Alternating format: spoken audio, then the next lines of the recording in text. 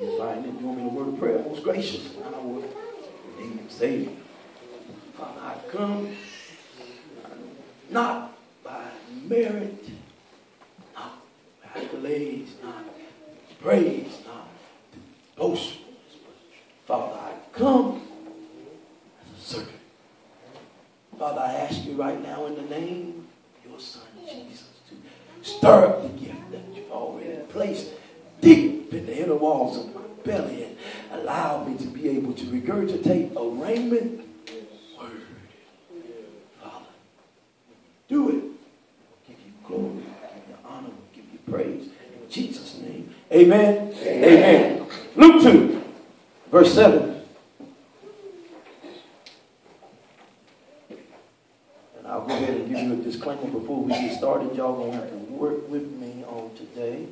Uh, I've been in the bed the majority of the week, and uh, I, am I'm full and I'm, I'm, I'm, I'm, built up. I haven't been able to go out and get about, so uh, I, I, I, may not know how to act for a while, but I need you to charge it to my head and not my heart. Y'all bear with me. I don't have the sense anyway, do I? Amen. Uh, Luke 2 and 7. Uh, and it reads, And she brought forth her firstborn wrapped him in swaddling clothes and laid him in a manger because there was no room for them in the inn. Let me leave with you a simple topic of thought on tonight, on today. It will be, is there room at your house? All right. Is there room at your house? Mm-hmm. look at this. We notice that uh, this is what we call the Christmas season. We're only just a couple of days away from uh, what is known as Christmas. And, and, way back in October, and some of us as far back as June, or even some as far back as January, a lot of us began to make preparation Christmas.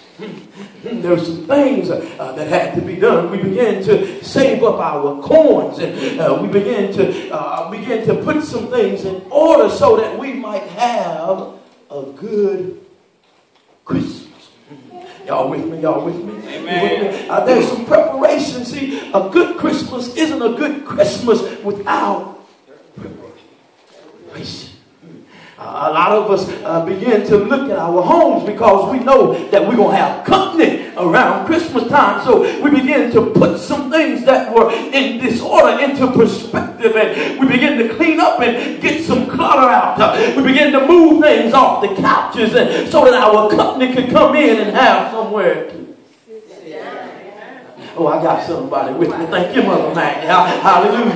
Uh, uh, yeah. Oh, y'all don't clean up for Christmas.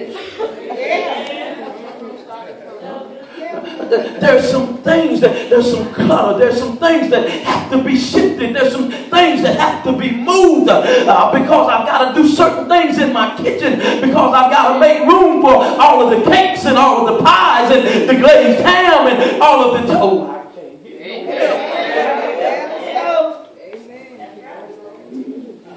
Is there room at your house. I'm going to hit just a few key points and, and we're going to leave you alone. Uh, the first point